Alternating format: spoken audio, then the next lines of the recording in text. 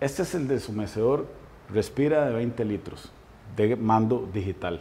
Está hecho para recoger 20 litros en 24 horas para una habitación de unos 16 a 35 metros cuadrados con una altura promedio de 2 metros y, medio. Tiene una bandeja de 3 litros en la cual puede recoger el agua. Y nosotros, o sea que la bandeja se va a llenar más o menos unas 3 o 4 veces al día dependiendo de la humedad relativa que tengamos en el ambiente.